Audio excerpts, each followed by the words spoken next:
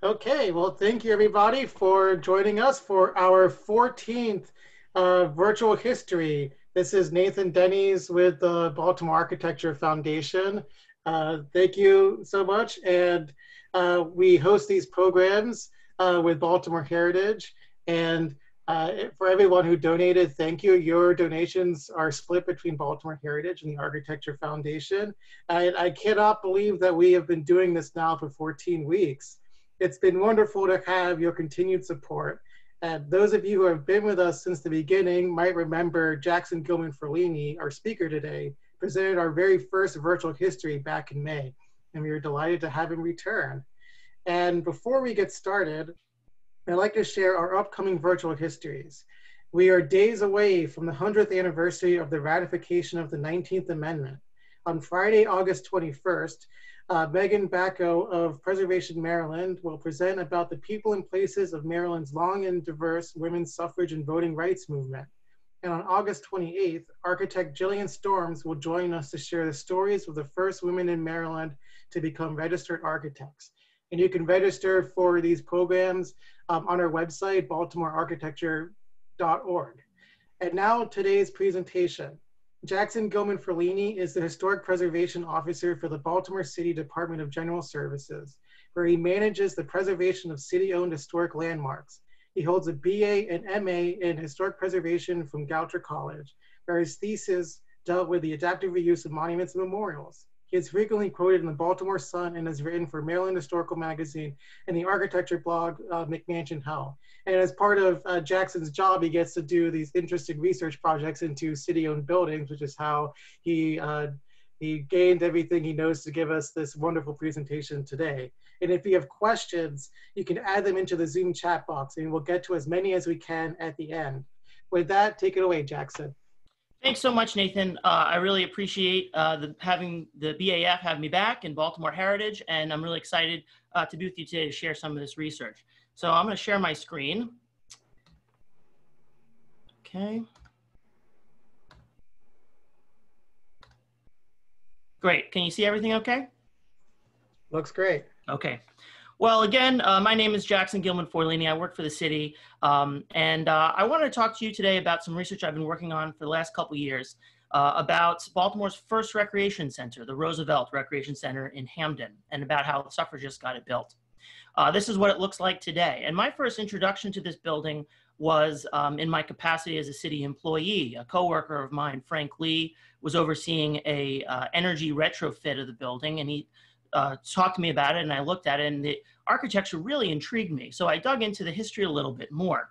And, um, and I discovered uh, that the, uh, the building had this really intriguing history. Uh, today, rec centers are a big part of community life uh, in many major cities, including Baltimore, uh, and they're in the news a lot as well. Baltimore City Department of Rec and Parks maintains over 40 rec centers. Uh, at the same time, we're also now talking a lot about women's suffrage. And as uh, Nathan mentioned, this is the centennial year. We're four days away from the ratification of the 19th Amendment. Uh, and so the question that I aim to address today is how the rec center system in Baltimore originally was conceived. And this brings us to the confluence of two seemingly different movements, one uh, focused on recreation and the other on women's suffrage. Um, and I hope to prove that the current system of recreation that we have today, center and uh, rec centers, is a legacy of the women's suffrage movement and Maryland suffragists in particular. Uh, so let's go to the uh, hero of our story. This is Edith Houghton Hooker. Um, Edith Houghton Hooker um, really led the charge for the creation of rec centers uh, in Baltimore and in Maryland. She was a progressive era reformer um, and also highly educated for the time. Um, she attended Bryn Mawr College, and this is a photo of her at Bryn Mawr looking uh, quite sharp in her jacket and tie. And uh, she also was one of the first women to attend the Johns Hopkins University Medical School. She was most concerned with improving uh, women's health and reproductive rights. Um, and she also, later with her husband, Donald Hooker, uh, led the, uh, a major role in founding Baltimore's chapter of Planned Parenthood.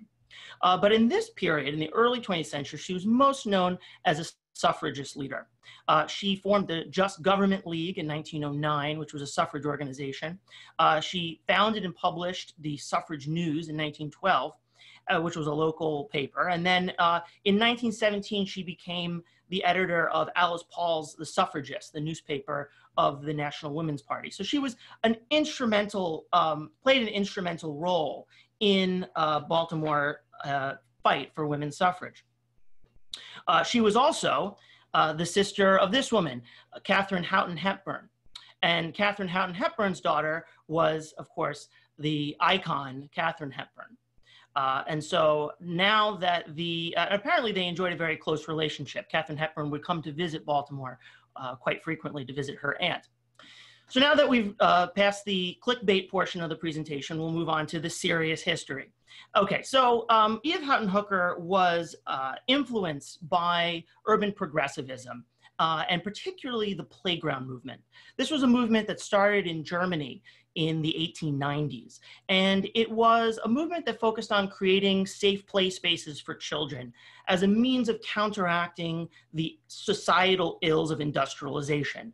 Cities were a rough and tumble place back then, and kids would be playing in the streets, uh, and it really wasn't a safe environment. So the playground movement sought to create playgrounds.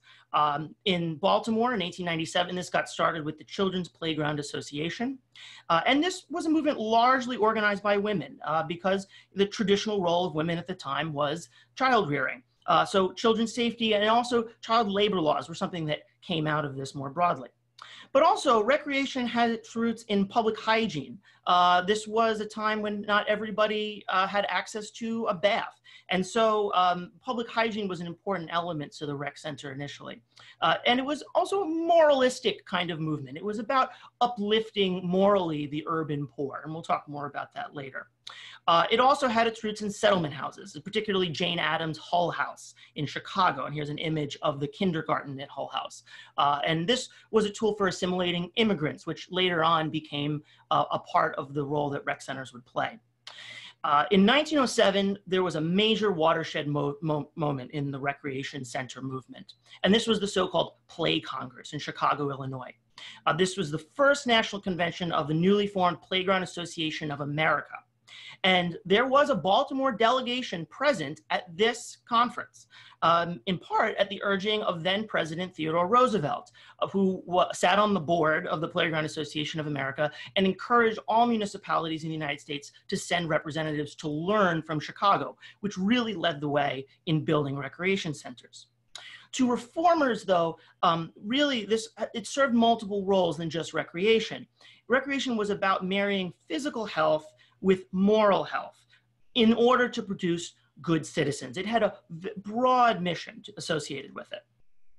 So beginnings in Baltimore the um, the beginnings here started in 1908, just following that convention, when Edith Houghton Hooker becomes the president of the Children's Playground Association in Baltimore, and she teams up with a very wealthy and powerful man, Robert Garrett, who is the uh, was a son of the famous Garrett family, and actually a nephew of Mary Elizabeth Garrett, one of the leading suffragists in Maryland.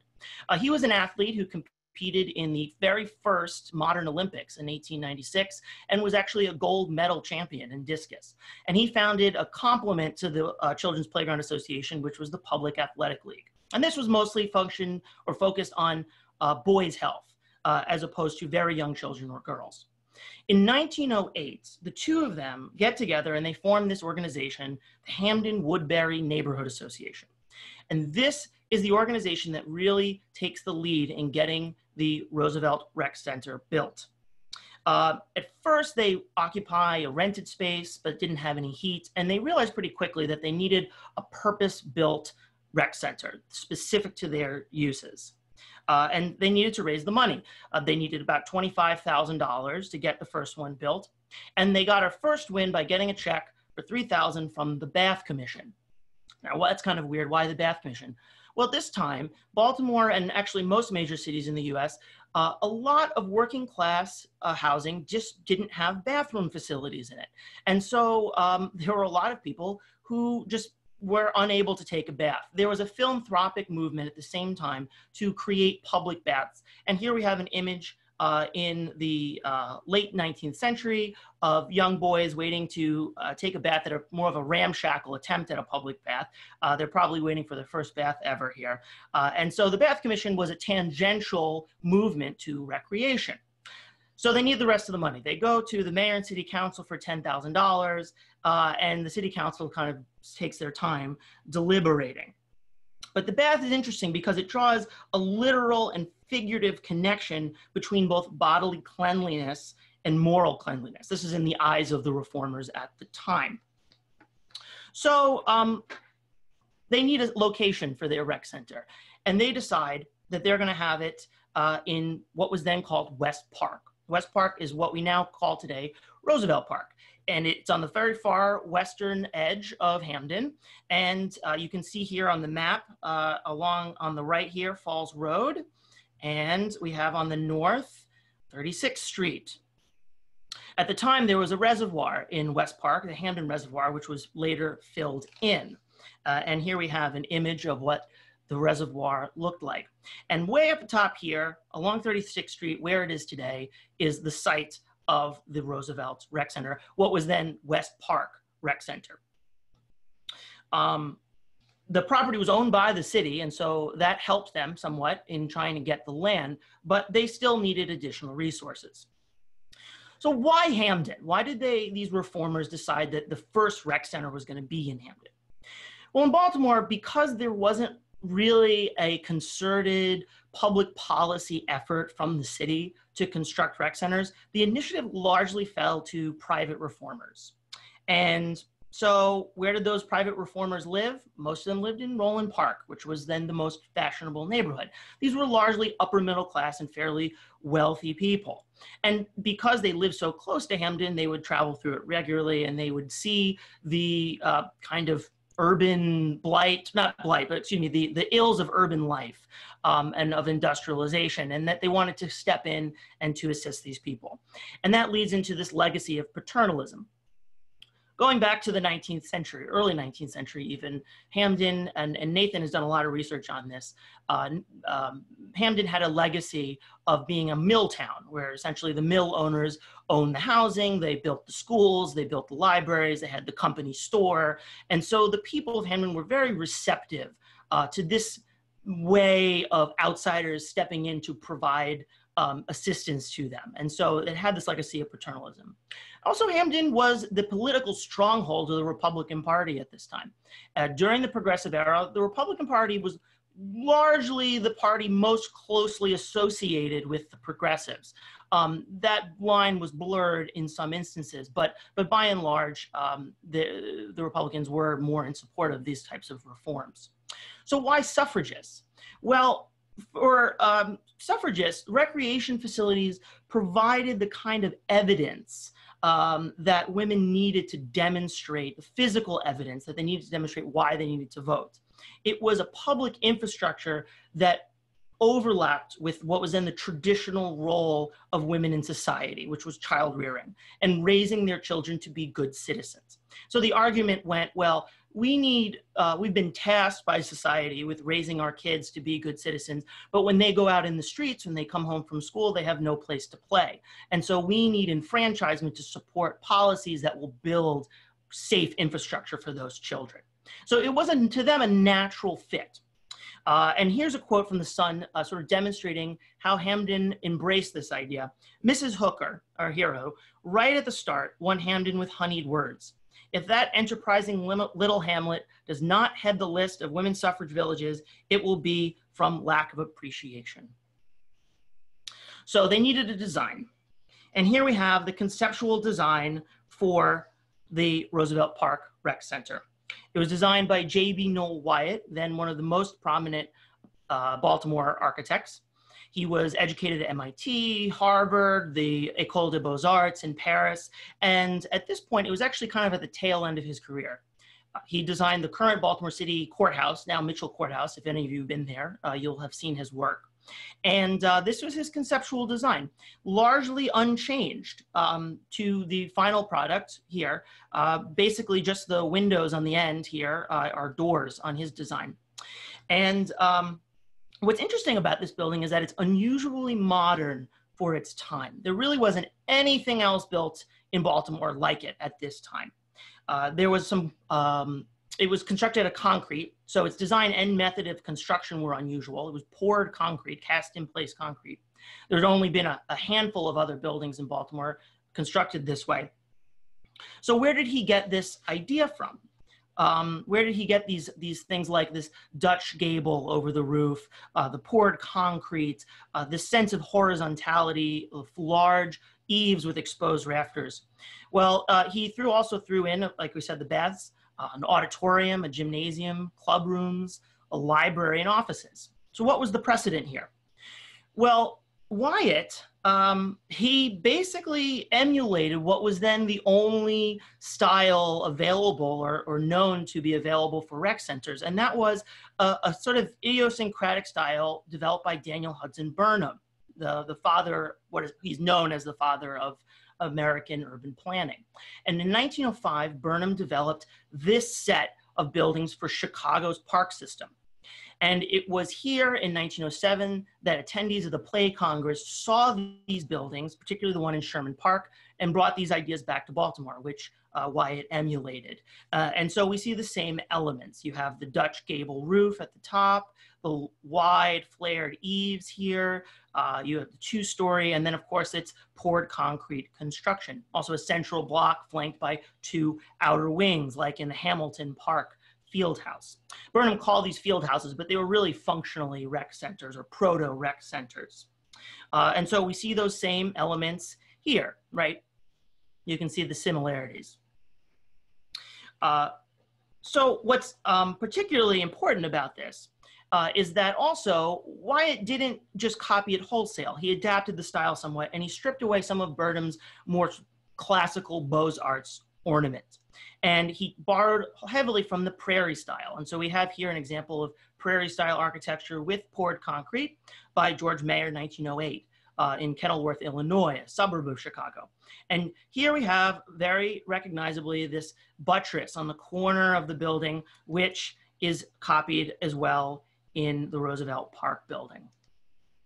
Um, the, the window pattern and then the um, archway over the door. And so what Wyatt is doing here is that he's pointing us in the direction of what the building is to be used for. He's giving us a clue that this is a building which is supposed to be for recreation. And um, it's a logical folding in of form and function, which was very emblematic of the transition to modern design nascent in the period. Indeed, the transition to modernity was really what the rec center was all about from uh, expanding public health to urbanization to, of course, expanding democratic representation for women. But it wasn't easy. They had their design and um, they needed some funds now to build it. Initially, they went to the city and they actually appealed to the mayor uh, to create a city policy to construct these buildings there is in 1909 a city charter revision commission, which recommends a, the creation of a public recreation commission, separate from the Parks Department. Remember, parks came earlier, recreation developed separately. Uh, but of course, the amendment fails in the Maryland state legislature. Probably, we're not sure why, but probably because uh, there were some civil service reforms attached to the bill that politicians uh, didn't really like too much. I don't know why, but there you go. Uh, in 1910, the city council continues to delay an appropriation. And by this point, Edith Houghton Hooker is getting very frustrated. Uh, and with some frustration, and I think even maybe I detect a little sarcasm in her voice, she writes this the building we wish to construct in Hampden ought really to be a municipal building. Baltimore, however, has not yet become aware of the fact that one of the duties of the city is to provide proper recreational facilities for the leisure time of its citizens. Consequently, it is necessary for some enterprising district, i.e. Hampden, to indicate to the city what its duty in this regard is. Well, uh, she's sitting there saying if they're not going to pay us to or they're not going to take the initiative to do this then we're just going to have to roll up our sleeves and do it ourselves as a pilot and this was the right strategy it basically worked. They received the $10,000 they needed from the city in May 1910. They get the thing built and uh, the cut the ribbon on June 13th, 1911 to great fanfare. This is a photograph of the opening day. This was um, a huge event. 15,000 people turned out. There was a parade, music, uh, food. The people of Hampden loved their rec center and it was a huge success with them. So what was it like in those early days? Well, uh, in the first couple years, they had about 98,000 visitors who came through, exclusive of the 43,000 to the public baths.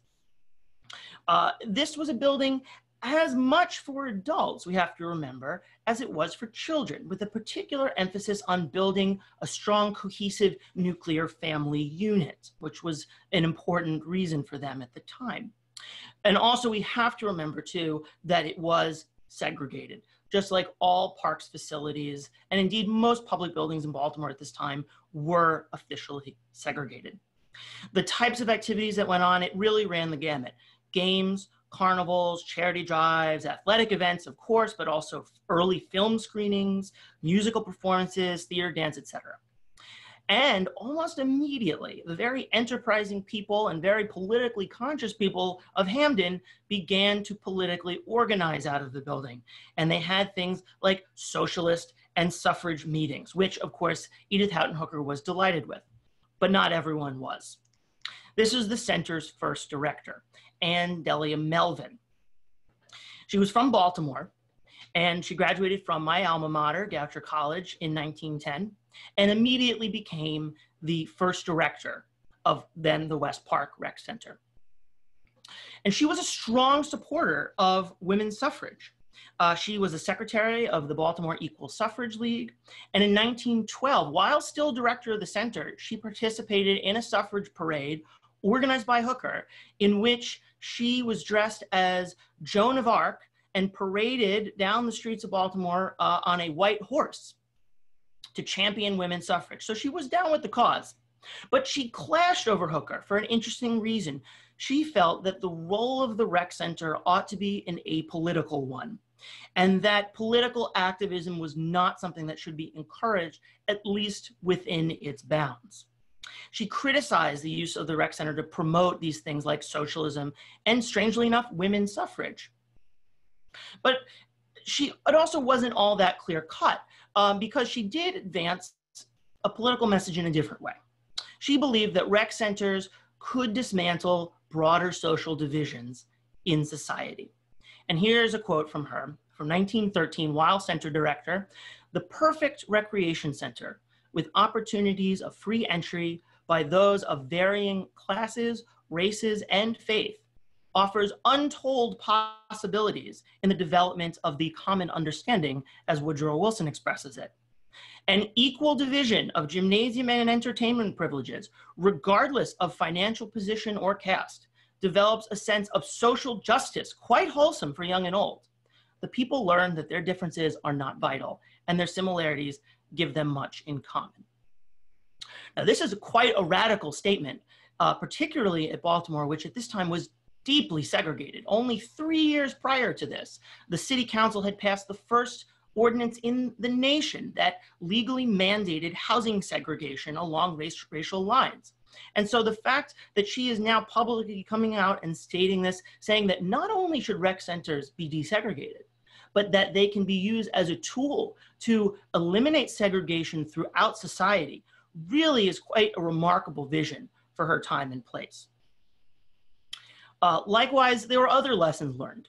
Uh, Hooker, a few years after the beginning of this experiment, um, states that the experience at West Park suggests a new recreation policy. Remember, the city still hadn't started one.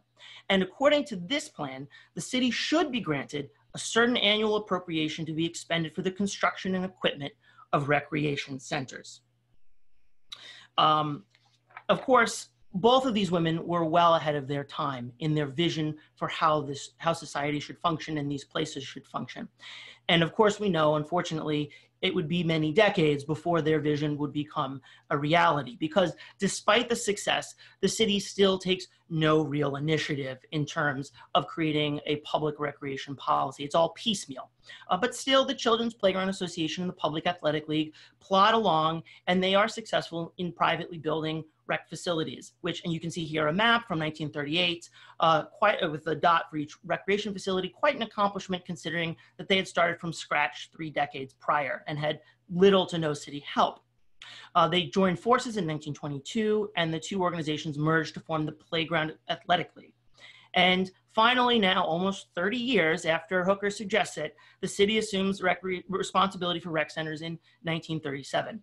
And in 1946, the current Department of Rec and Parks, as we now know it, is created.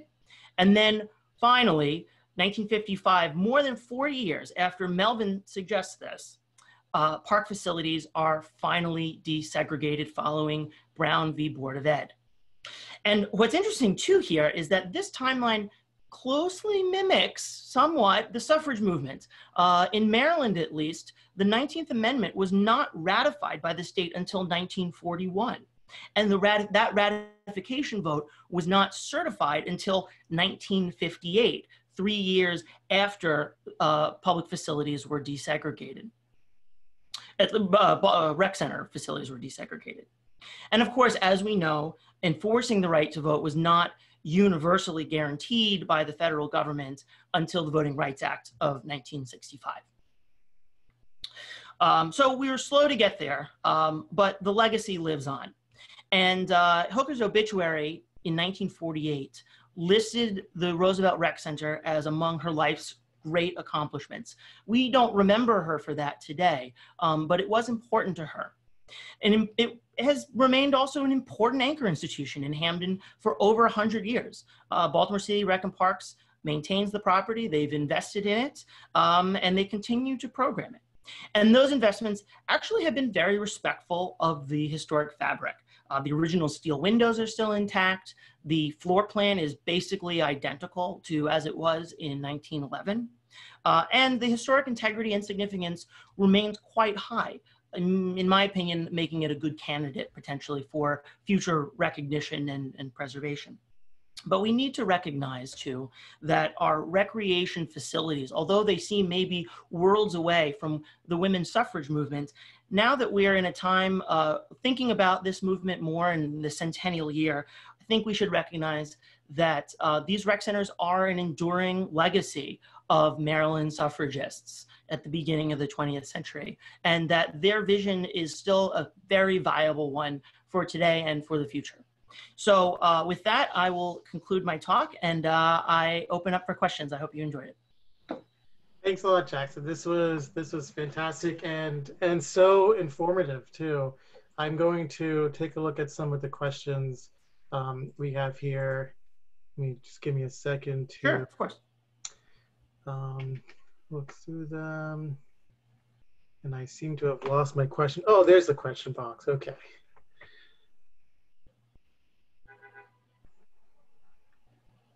Um, are the current PAL centers related to the Public Athletic League? You know, that's a good question. I um, I would assume so, but I am not uh, up on as well as I should uh, other existing recreation facilities. Um, this research, I should couch this by saying this research is still ongoing, um, and I'm only gotten up to the early first quarter of the 20th century. So stay tuned. I'll, I'll get back to you on that. Great. And next question. Uh, because there were so few women in Baltimore who were recognized as architects, do you see other examples of women activism manifest in the structural outlays of Baltimore City? Baltimore is noted for its clusters of neighborhoods that often resemble self-contained villages of sorts. I'm sorry. Could you repeat the second the the second part of that question? Yeah, it, it said that Baltimore is is notable for its clusters of of close knit neighborhoods that often resemble villages. Yeah, yeah, I, I think so. Um, I agree with that. There are a lot of other historical reasons for that pattern of urban development. And actually, Nathan, your research has shown uh, how the Woodbury neighborhood also uh, sort of sprung up in that exact way. Um, it, I don't think that it's necessarily directly tied to this particular movement. I haven't found evidence of that, but I will keep an eye out for it. Great, and yeah, the the um, the other part of, of the question too is sort of asking like how how else have have women and suffragists influenced um, the the built environment in, in Baltimore? Okay, yeah.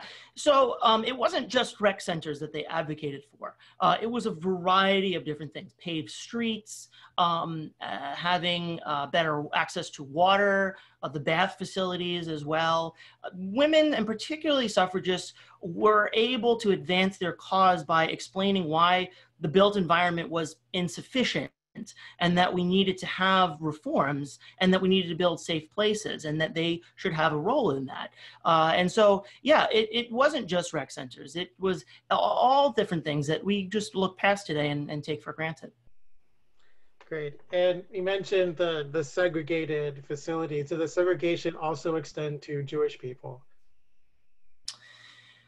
Um, so that's a good question. I, I, I don't know in a in an official sense if um, the the Roosevelt Rec Center was officially segregated in terms of excluding people, uh, Jewish people, and, and also on basis of faith.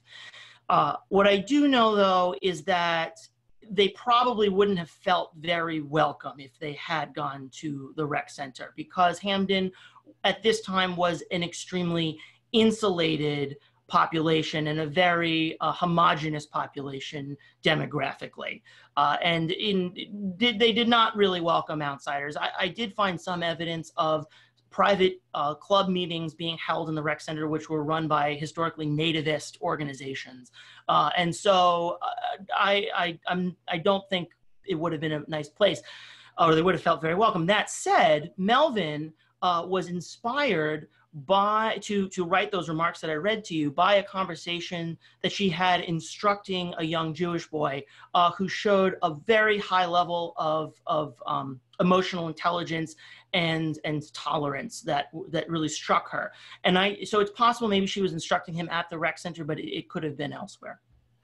Yeah, and there's there's also evidence of of um, racism against uh, Jewish merchants on the, on the avenue from this yeah. period too.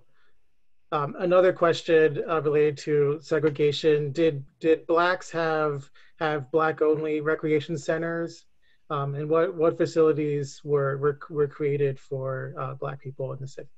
Yes, there there were. It, it was segregated, and there were separate um, recreation facilities.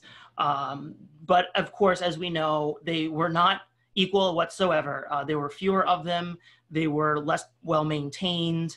Uh, they were just not as nice. Um, one of the most famous is uh, swimming pool number two in Druid Hill Park, uh, which uh, was a um, the main swimming pool for African Americans in Baltimore at this time because they were excluded from others. And uh, it was, but you know, of course, the, these facilities that were constructed were were not on par, uh, but they did exist, and and um, many of them were constructed by the Public Athletic League and the Children's Playground Association. Great. And we have a question about the relationship of of uh, Robert Garrett to the movement. He was um he was apparently an outspoken segregationist. Yes. how did how how did that how did he get along with suffragists who were advocating um against? How, how did he get along with them? Yes. Oh, uh, yeah, so this is an excellent point. Um, Robert Garrett, uh, despite some progressive mo- ideas, uh, he was a staunch segregationist and eventually was pushed out as chair of the uh, Parks and Recreation Board Commission in the 1950s when he took a hardline stance against integration. So um, he is uh, uh, his his reputation is is tarnished by this. Uh, I am not sure the specific way in which he got along with Hooker and other members of the board of the um, uh, rec center board. Uh, and I don't know his exact position on suffrage. Uh, in some ways, he was very conservative, and in other ways, he was very progressive. So he was a complicated figure. Great. And uh, did communities request future rec centers to be built, or did the Playground Association uh, choose those sites um, based on where they could find money and funding? It was a little bit of both. Um, the I think for, for the Roosevelt Park, that was a, a pilot specifically chosen, I think, because it, of its proximity to Roland Park, and also there was a, a grassroots will uh, to support it there. Other neighborhoods, um, there were more kind of neighborhood grassroots type organization that advocated for rec centers, uh, and so it was working in in tandem. I do know for a fact also that Hooker was a big supporter of having the neighborhood guide these just these decisions. She felt she believed in what she called home rule. That is to say that the people who live in that neighborhood should really call the shots about how the and where these are built and how they're operated. Great. And um, last question I have here, um, or actually, no, a couple more questions. Are there any uh, construction drawings available for the building? Have you found any any architectural plans for it? Not yet. I had that that conceptual drawing I showed earlier, that was from a Baltimore Sun clipping, which luckily survived. The other original drawings, I'm not sure where they are. If somebody knows, please let me know. Uh, we do have at my job in our archive of drawings, we have drawings of the building from a series of renovations that occurred in the 1960s and 70s. Uh, so we do have some as-built drawings from that time period, but but not original to the building's construction. No. Uh, was there a cost for taking a bath at the at the bathhouses um, that that were set up, and was was a soap was soap and towel provided? Yeah, uh, the answer to the question is yes for both. Uh, there were towels. You were there were uh, big angry signs posted that said you will be prosecuted to the fullest extent of the law if you steal a towel. Uh, so they, I guess that would must have been a problem. People taking the towels home with them. There was an admission fee. I don't recall offhand what the fee was at West Park, at Roosevelt Park, but I did the, the photograph that was in the PowerPoint earlier about the earlier bathhouse, the more ramshackle one. There's a sign posted on it that says uh, men three cents admission. So uh, that was um, there was there was a fee to recoup some of the cost. And uh, last question I have for you is uh, do you know when the park changed from being called West Park to Roosevelt Park? Oh, yes. I'm sorry. I should have mentioned that earlier. Uh, thank you for that question. It was rededicated in 1920, just following Theodore Roosevelt's death the year before. And this wasn't a coincidence that they selected this park. Um, Roosevelt was a big supporter of recreation, of athleticism, as we all know. He was also most closely associated with the progressive movement. And he was president while this building was being conceived.